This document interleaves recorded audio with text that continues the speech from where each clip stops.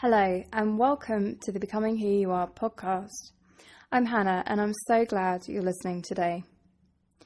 If you subscribed to the Becoming Who You Are podcast before this episode was released, you might have noticed a significant gap between the last episode and this one. I haven't recorded a new podcast recently for a number of reasons to do with things going on at work, things going on in my personal life, and trying to juggle too many balls at one time. Something had to give, and one of those things was this podcast. There were a couple of things going on there, so I thought it might be interesting in this episode to share what happened for me and what I've learned from it, and I hope that it's useful for you too. So, I started the podcast in February and posted weekly for several weeks after that. If you've ever recorded a podcast, you'll probably know that it's quite time intensive, especially so for me since I'm still new to public speaking, so I like to type out and prepare each episode in advance. I hope to reach a stage where I can wing it soon, but I'm not quite there yet, as you can probably tell. I should also mention here that this project seriously challenges some beliefs and assumptions I had about myself that I've only really become fully conscious of since starting. These include that I'm not a quote good public speaker, um, and I would say now that I just haven't had that much experience, and that I'm much better at communicating through writing than I am verbally. Again, this is a self fulfilling prophecy because the more I believe this, the more likely I am to communicate through writing, not speaking, and therefore lose out on valuable opportunities to gain experience and more confidence. I also have some verbal tics when I talk naturally that I'm not super happy about, including the common habit of adding superfluous likes and you knows into sentence, like, you know, how I just did there. I've also picked up the habit more recently of finishing a sentence, then leaving a so, yeah, trailing off at the end. And I find this habit really frustrating. I don't know why I do it. But like with the two beliefs I've already talked about, these are all things that I can learn to feel happier about with experience. So, doing a podcast was venturing into new and unknown territory for me.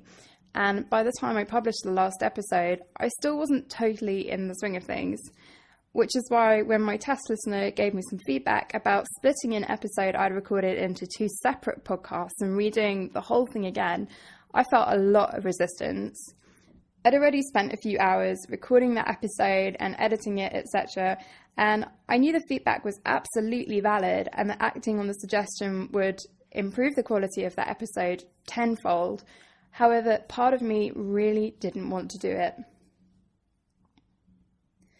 So, this made me think a lot about that part, and I realized that we all have parts of us that will look for the first opportunity out of an uncomfortable situation.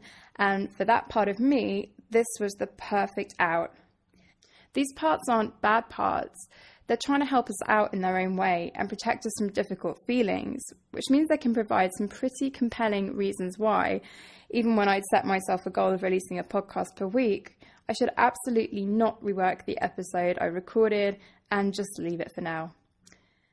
That part of me came up with pretty much every excuse I could muster. I was too busy, I needed to focus on more on paid work and prioritize that.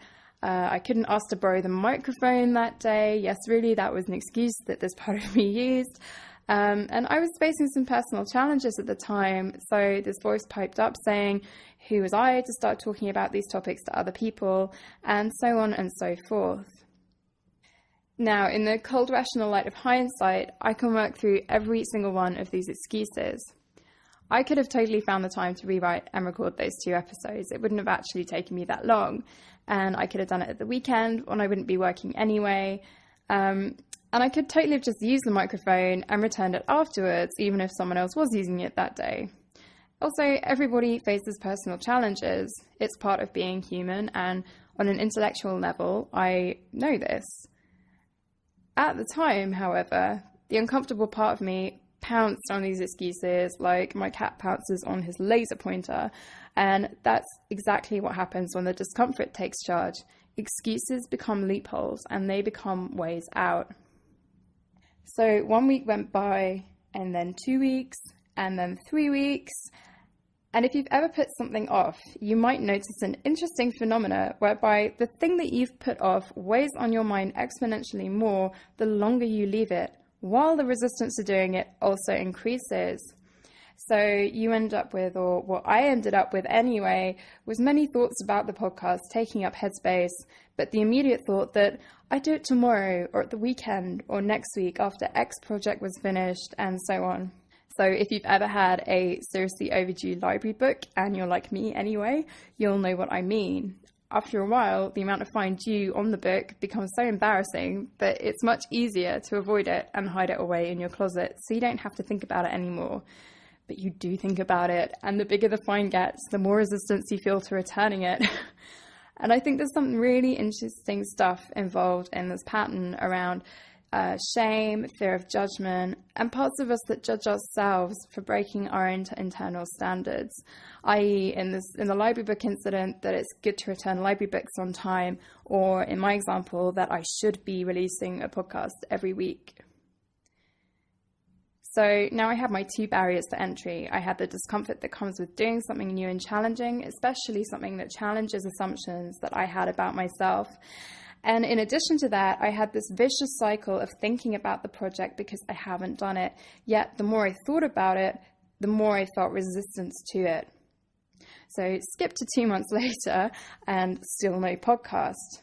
In that time, I could have churned out eight to 10 more episodes, and I would be at nearly 20 by now, and would have been showing up consistently every week and everything good that goes with that. These factors were a source of some self criticism in the beginning, which in itself is pretty demotivating.